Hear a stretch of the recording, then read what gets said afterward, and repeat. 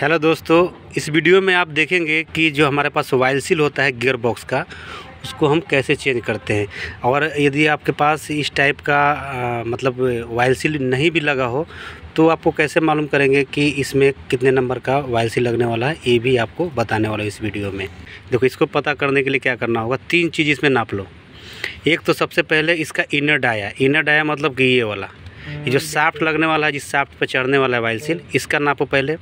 उसके बाद डेप्थ नापो इसका गहराई। कि जहाँ तक बैरिंग है ना ये बैरिंग से यहाँ लास्ट तक मेजर कर लोगे नाप लोगे तो ये पता चल जाएगा तुम्हारा इसका थिकनेस यानी कि जो हमारे पास वाइल सील है इसका थिकनेस ये मालूम चल जाएगा।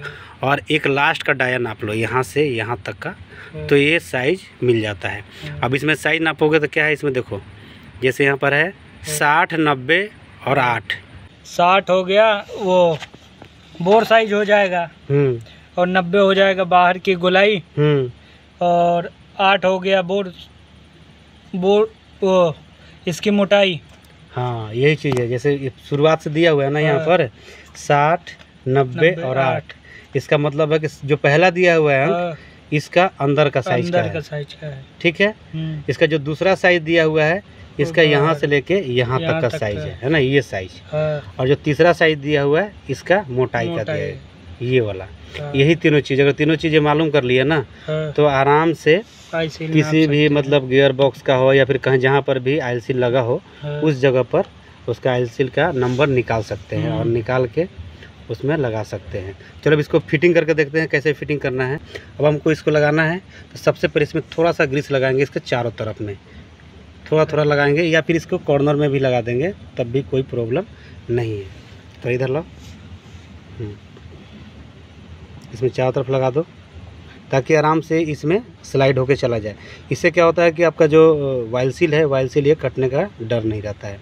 इसमें वाइल सील नहीं कटेगा तो आपका परफेक्ट फिटिंग होगा। और वाइल सील लगाते हैं इसीलिए ताकि हमारा जो वायल है तेल है वो बाहर की ओर ना निकले। तो एक चीज़ और इसका अंदर में भी लगा देंगे क्योंकि जो कोर है इसका बचा हुआ इस कोर को बचा कर रखना है। यही जो है यही बचा कर रखता है इसका ताकि ये जो साफ्ट घूमता है इसमें तो ये एक ही जगह रहता है ना? देखो वाइल सील जो है एक ही जगह फिक्स हो जाता है और ये रोटेट करता रहता है। तो इसमें आपको ग्रीस लगा के ही लगाना रहता है, ताकि लंबा समय तक ये चलता रहे, क्योंकि इसमें अगर थोड़ा सा एक चीज़ और वाइल सील लगाने से पहले आप देख लेंगे कि इसमें कहीं से बाबरी वगैरह नहीं आना चाहिए, क्योंकि इसमें अगर कहीं पर बाबरी आ गया होगा, कहीं ठोकने पीटने में, तब भी आपका आयल सील तुरंत कट जाएगा। इस साफ्ट के ऊपर भी ग्रीस लगाना होता है, ताकि आराम से ये स्लाइड होके चला जाए। थोड़ा लगाओ इस पर ग्रीस लगाने से क्या होगा कि जो वाइल सील है, वाइल सील कटेगा नहीं जल्दी। कुछ दिन तक स्मूथली बहुत अच्छा से चलता रहेगा ये। चलो ठीक है, अब लग गया ये। ओके हो गया, चलो अब लगाओ। वाइल सील लगाओ। जैसे ये नहीं बैठा ना तो देखो क्या करना होता है इसमें। जैसे नहीं बैठा तो हल्का हल्का इसको ऐसे ऐसे कर दोगे। ठीक है ना? टेस्टर से। तो ये बैठ जाएगा ये, आराम से। ये एकदम इसको जगह छोड़ कर रखना चाहिए। चलो दबाओ इसको अब थोड़ा। हल्का हल्का दबा हल्का हल्का दबाते जाओ। हम्म।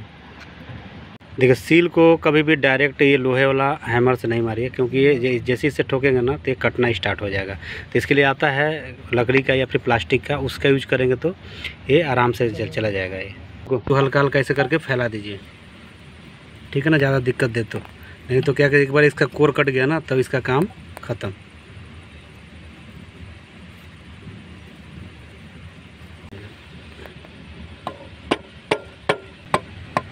दबा कर रखो ज़ोर से। हम्म, बस। इसको बराबर करके छोड़ देना है। हो गया। चालू करो। ये इस टाइप से वाइल सील बैठा दे। देखिए पूरा कोर ये पकड़ के रखा हुआ है चारों तरफ़ से। थोड़ा ऊपर करो ऊपर दिखेगा। ये जो कोर है कोर एकदम ऐसे पकड़ कर रखना चाहिए। तभी तो ये इसको बचा कर रखेगा। बाकी तो इसके अंदर से आयल चलेगा ही तो ये जल्दी ख़राब नहीं होता है। फिटिंग हो गया, अब दूसरी साइड में भी फिटिंग करना होगा, इसको पलटो। तो उस तरफ़ आपने क्या देखा था? कि उधर वायल सील हमने निकाल कर रखा था, ताकि आपको समझ में आए कि इसका जो नंबर है नंबर कैसे कैसे हम मेजर करके इसका वायल सील का नंबर निकाल सकते हैं। अब इसको निकाल के इसको बाहर फेंकना है और यहाँ पर भी नया डालेंगे।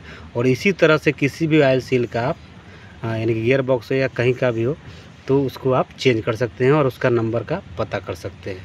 दोस्तों, वीडियो पसंद है तो प्लीज़ वीडियो को लाइक और चैनल को सब्सक्राइब ज़रूर कीजिएगा। चलिए फिर मिलते हैं नेक्स्ट वीडियो में। तब तक के लिए जय हिंद।